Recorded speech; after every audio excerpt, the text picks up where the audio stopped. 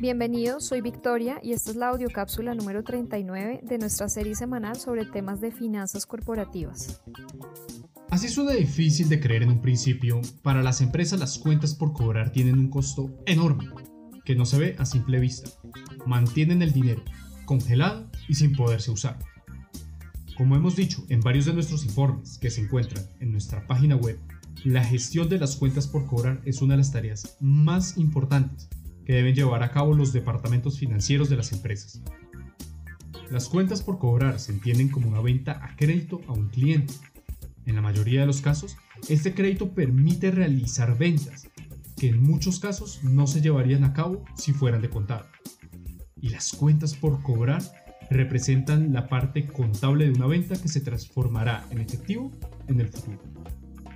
Algunos dirán que tener cuentas por cobrar no es malo, pues es una venta que ya se hizo, y otros interpretarán estas cuentas como un activo corriente de fácil cobro, por lo que pueden asemejarse al efectivo.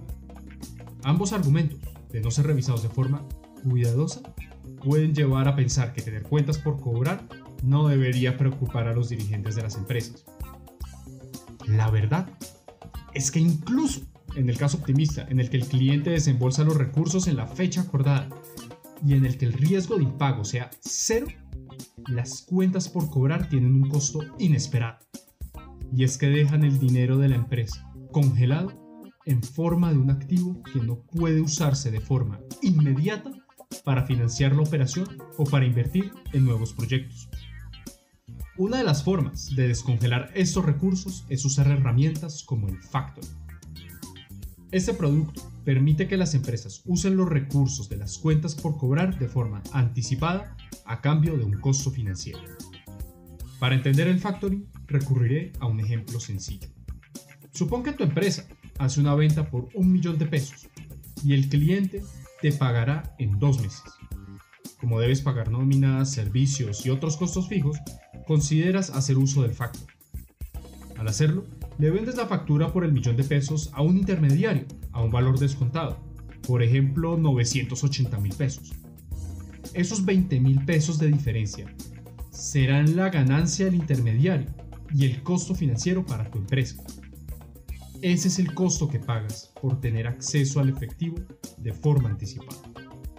Y es precisamente este costo el que las empresas deben sopesar.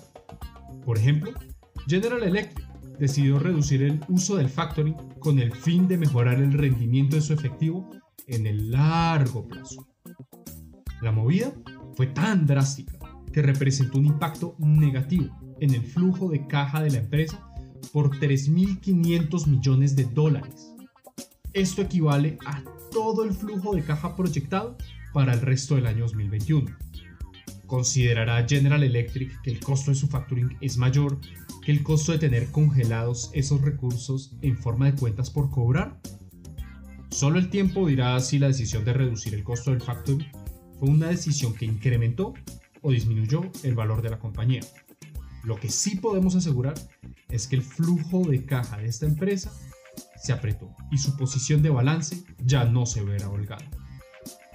En últimas, el factoring es una herramienta que permite mejorar algunos indicadores financieros y aumentar el valor teórico de la empresa cuando se utiliza en lugar de usar fondos de los accionistas.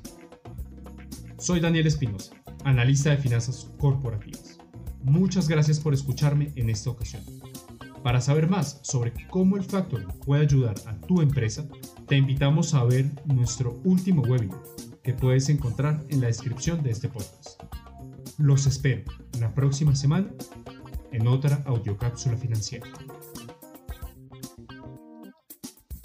Gracias a todos por escuchar esta audiocápsula y los invito a suscribirse a nuestro canal de Spotify y seguirnos en Instagram, Facebook, LinkedIn, Twitter y YouTube como arroba corficolombiano.